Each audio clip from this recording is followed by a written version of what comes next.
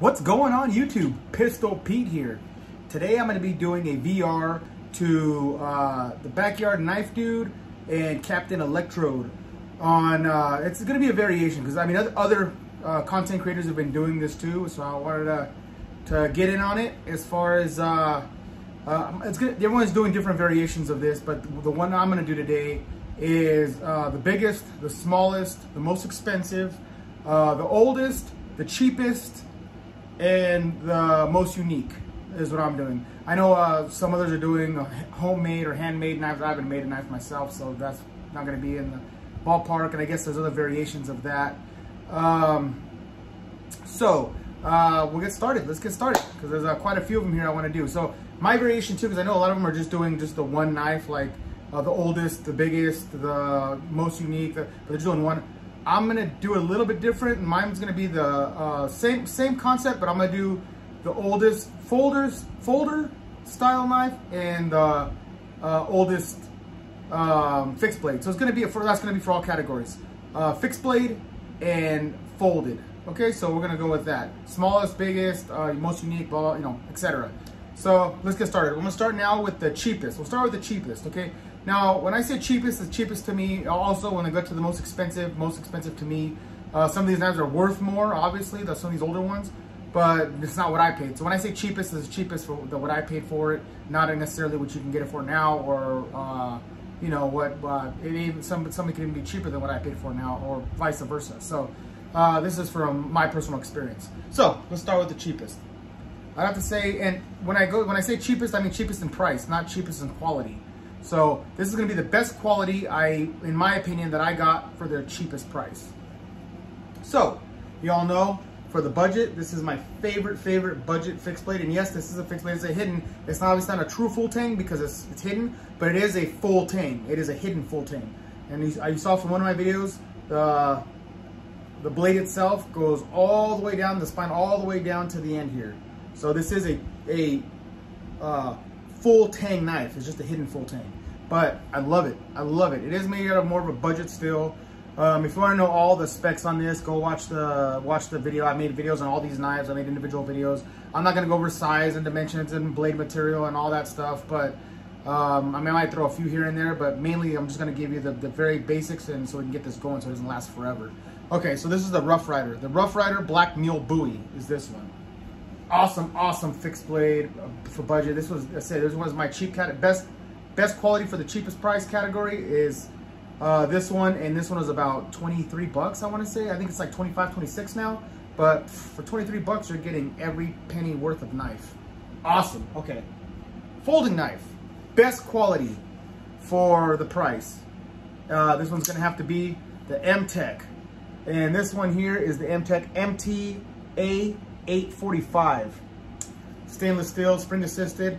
This was nine bucks at a gas station. You can find them now i think on, on ebay for uh, about uh, i think 15 to 16 dollars now but i got this for nine bucks at a gas actually my friend got it for nine bucks at a gas station.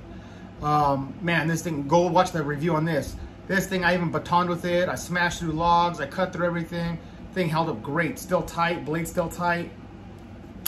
Spring still works great uh, for the money, this you can't beat this. Makes an awesome truck knife. Has the seatbelt cutter, has the window breaker. Awesome, awesome. Nine bucks, couldn't beat it. All right, let's go on to the oldest, oldest knives I own. So, this is a little different. So I did this one because I, I, I uh, they're both really, really old. But this one I just got recently, as you all know, is my last video I did. I got to throw it in there again because I freaking absolutely love it. But this one here is the uh, Blackjack Anaconda 2. Man, it's so beautiful. I freaking love this knife. Absolutely love it.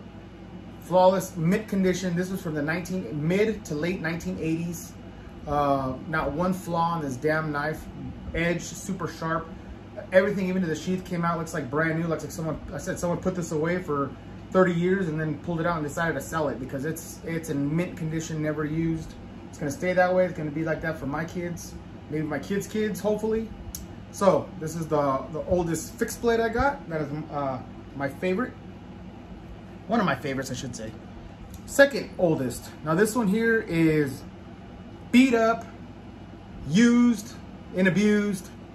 lasted through the test of times. This this one has sentimental value to me, um, and it's it's uh, it's one of my first knives ever owned.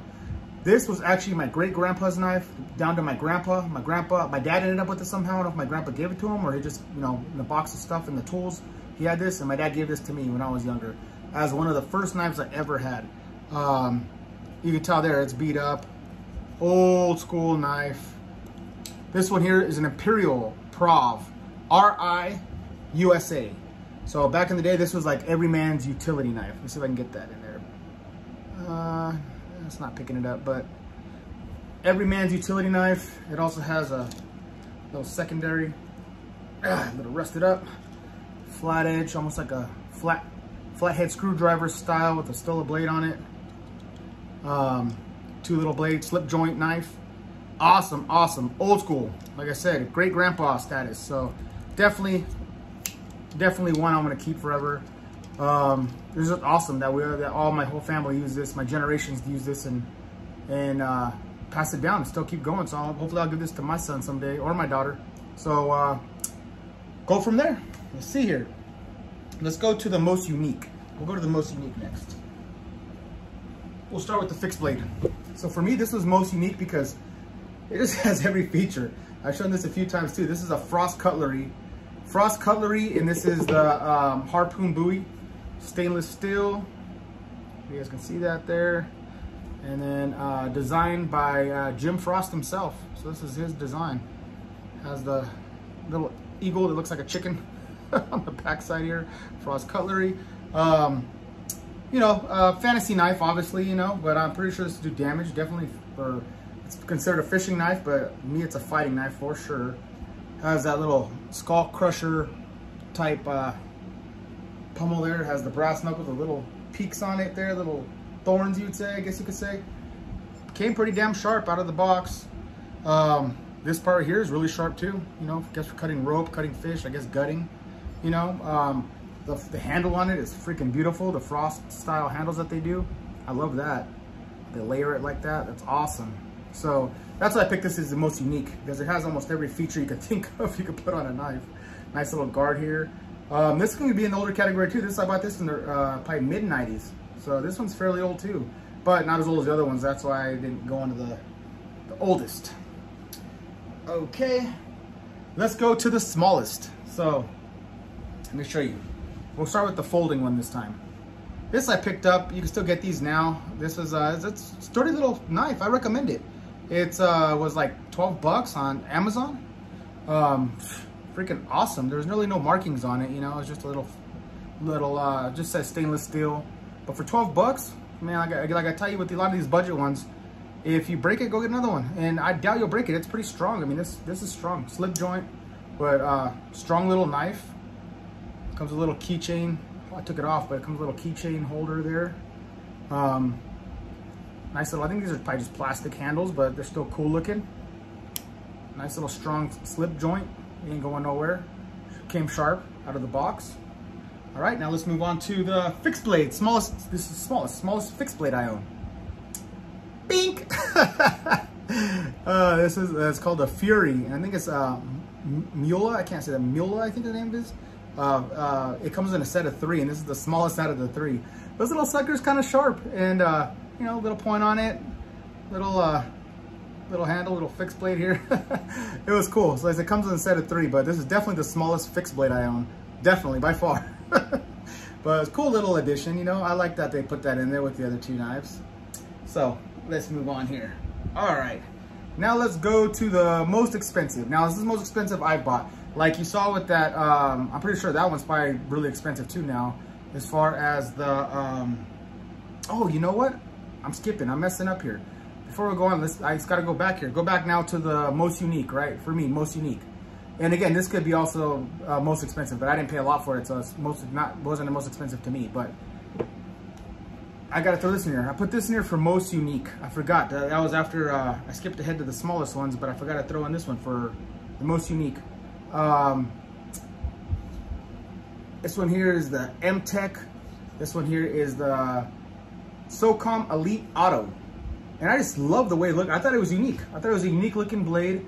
Um, it has, still has that glass breaker there. like that skeletonized see-through type handle.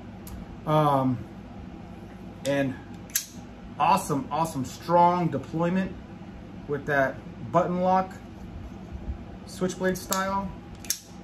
I love it. Absolutely love it. all uh, This just screams quality. When you put this in your hand, you know, I know you paid a lot for these, you know, and again, like I said, I didn't pay that much for it. I got a, thank God, I got a super good uh, deal thanks to Chris from Prepared Mind 101, but um, he gave me a really, really good deal on this, but these brand new go for about 300 and now if you can find them, they're like on eBay once in a while for like 600, 500, 600 bucks. So, but again, I paid nowhere near that. Uh, awesome, awesome knife. And this had to go in the unique. Just the whole, the way it kind of goes up and curves down a little bit, that modified Tonto style point, spring assist button lock. I mean, I just, everything about it was, looks futuristic and just cool as hell. So this has to go in the unique pile. Okay, now let's go back. Getting too excited here, going ahead and going all over the place. Now let's go to the most expensive knives. And this is the most expensive, this is the most expensive I paid. And it's kind of a tie for me with a lot of knives. So I just threw these in here because I love them and they're badass. They're fun, fun blades.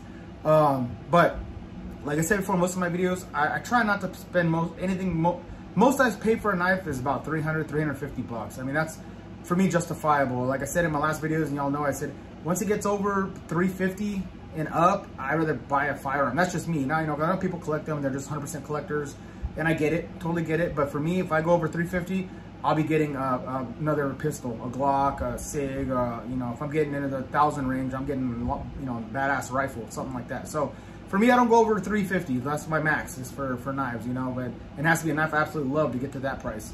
And these two, uh, they're under, they're under 350. They're about 300, around, around 300 with shipping, but uh, absolutely my favorite. So I'm showing both of these because it's going to be a tie for most expensive. And uh, let me see here. So these two are a tie for most uh, most expensive. Both freaking awesome. Don't regret either one. These things are just so badass. This one here is the Puzon Predator Hunter. We can't even get the whole damn thing in the screen. Back up there. Um, love the G10 handles. That freaking looks like zebra print style. Freaking beautiful. Fin finish on, it's Work Tuff, manufactured by Work Tuff. And man, they just, they knock it out of the park each time. Their fit and finish is awesome. They're everything, everything. They come razor, come freaking razor blades. Both of these come razor blades. And uh, that one was designed by Dave Puzon. This one here was designed by uh, Hunter Cutchinson. And this one here is badass too. Futuristic, man. Like a futuristic meat cleaver. Just badass. Uh, absolutely love it.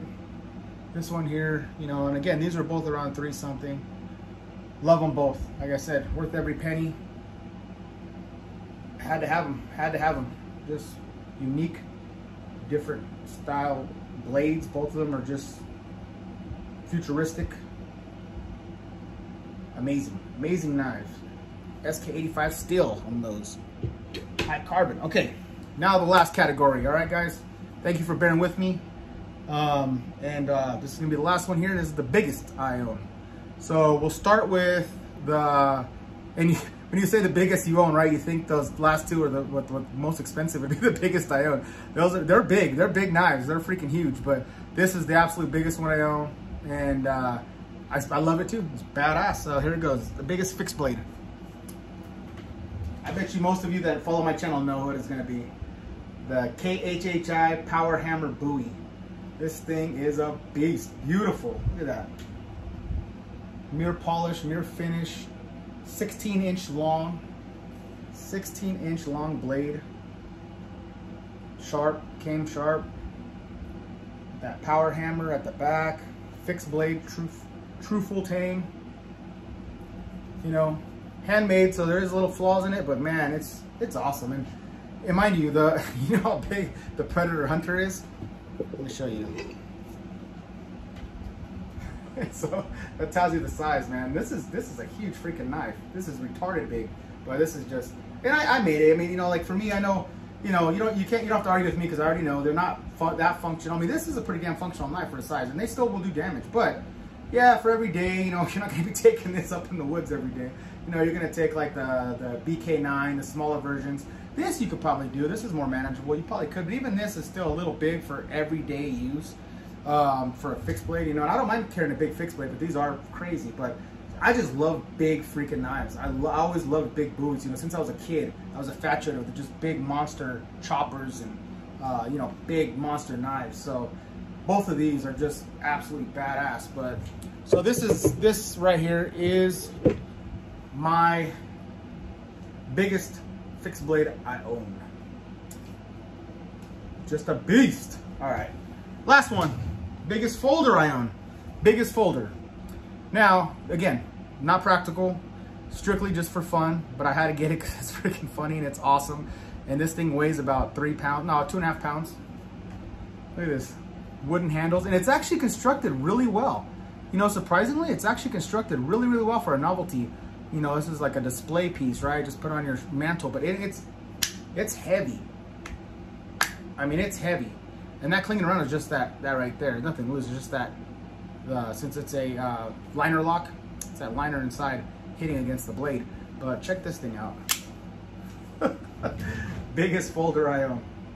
Um, and like I said, you could just, you throw this at someone, you're knocking them out. This thing's heavy as hell. And surprisingly sharp, it's really sharp. Calls out 440 uh, steel. I mean, it's it'll shave hair. This thing shaves hair. I've done videos where I cut paper with it and done all that. But um, but yeah, it's just awesome, awesome. And I picked this up. Uh, you know, the thing about this, you can't even find these that often. I was looking online. I can't find this anywhere online. Um, if you know a link that has all these styles, let me know because I don't. I couldn't find any. I looked up just on the web. I looked on eBay, Amazon, um, all over. I can't. I can't. I don't know. All, I found I have two of them about this size, like this. Uh, possibly the same manufacturer too, but I had two of them like this. Uh, this one I got at a gun show about 15 years back uh, display gun show, and it was I think I paid like about 15, 16 years ago. I paid about 70 bucks for it. And the other one I got, I paid about 80 bucks, and uh, and man, it's it's awesome. It's super thick, you know, has that liner lock that locks in pretty tight, you know. So I mean, it's not too bad. I mean, I've never used this. I wouldn't trust this swinging it down hard. Hell no, it's not a it's not a triad lock or it's not a it's not a cold steel so I definitely would not be swinging on this. I mean, if you want to cut open envelopes or a cardboard box, go ahead and do it. Uh, you don't have to worry about it folding in your hands, but if you're swinging really hard, I wouldn't trust the liner lock. I wouldn't trust that. Um, but I mean, for what it is, it holds pretty tight, you know, and so I get, ah, it's too, too tight right now. Can't get it to flick open, but yeah, you can get it to flick open. Um, I think I tightened that down too, that's why. I tightened the screw down on this, but try reverse. There we go. There we go. So you can't get it to fling open.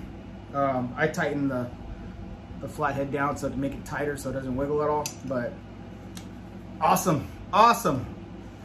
All right, that's it. Um, again, uh, the fun. This is a fun video.